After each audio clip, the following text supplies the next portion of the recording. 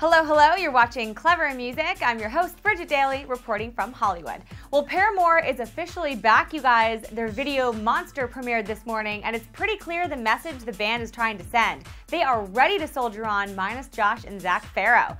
The video shows Hayley Williams, Taylor York, and Jeremy Davis trapped inside an abandoned hospital where the walls keep trying to cave in on them. It definitely brings the lyrics of the song to life, like the line, Don't you ever wonder how we survived?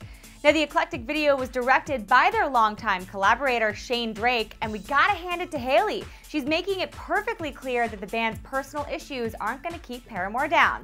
You guys can check out the music video by clicking the link below and let us know what you think of it. Is Paramore officially back? Comment below with your thoughts and click subscribe to stay in the know on more music news. I'm Bridget Daly, and that's your Clevver Music Minute.